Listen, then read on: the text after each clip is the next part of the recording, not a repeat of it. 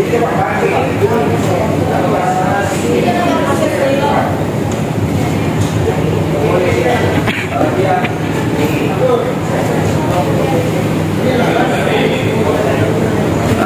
guys. Ini tempat storage itu Pak. Cold storage.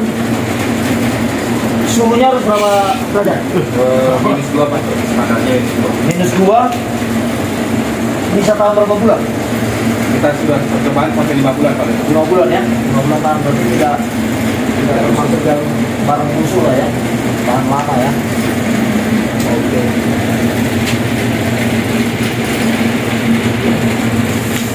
Dua sekjen. Oke. Pemuda Batak Bersatu. Satu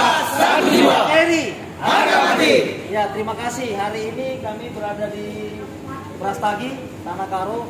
Eh, pada pada kesempatan kali ini kami berkunjung ke storage Wortel. Ini adalah salah satu produk Pemuda Batak Bersatu di mana Pemuda Batak Bersatu tahun ini tahun 2022 dengan konsep ekonomi kreatif di mana kita berkomitmen pada seluruh anggota dari Sabang sampai Merauke untuk bagaimana kita bisa membantu meningkatkan ekonomi baik ekonomi pribadi, organisasi bahkan untuk perekonomian negara.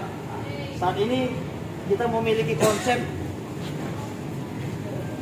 membuat kemasan wortel yang bisa kita perdagangkan di domestik maupun internasional. Saat ini wortel kita sudah berada di pasaran domestik dan saat ini juga kita sedang melakukan inovasi untuk menjadikan wortel ini sebagai keripik, keripik wortel ataupun makanan ringan atau gorengan wortel. Jadi kepada seluruh pemuda Batak Bersatu yang ada di seluruh Indonesia, ini adalah salah satu peluang bisnis, peluang usaha yang sangat baik. Mari kita kembangkan karena marketnya wortel ini sangat diterima di seluruh pasar. Ini adalah sebuah peluang yang sangat luar biasa.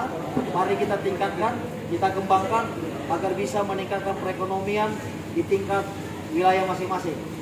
Saat ini juga kami ketemu eh, bersama dengan Pak, Pak Nikolas yang mengelola eh, usaha ini dan kebetulan beliau juga sebagai ketua Dewan Pimpinan Daerah Bangka Belitung dan Bapak Ken Ken Girsang juga memiliki usaha yang sama di Tanah Karoni di Brastagi ini market beliau ini ada di di mana Pak? Di Jakarta berapa pasar di Jakarta? Lima pasar.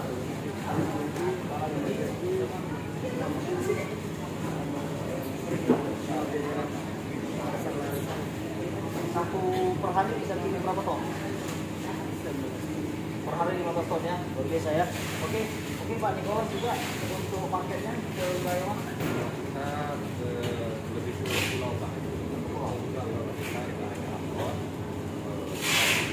eh, Kalimantan Barat eh, dan kita ada di Karawang kan eh, sekali-sekali ke bawah baru bahkan itu pastinya sebagai eh, pesan eh, tinggal saya karena kita yang tadi masukkan itu Berarti cari duitnya di Tanah Karo, buat duitnya masuk pintu. Satu hari berapa?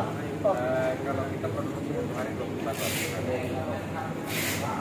Jadi usaha ini juga bisa menyerap tenaga kerja berapa?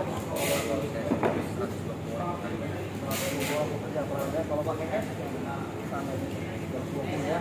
Jadi ini adalah sebuah peluang bisnis buat kita, terutama pemuda Batak Bersatu yang ada di daerah.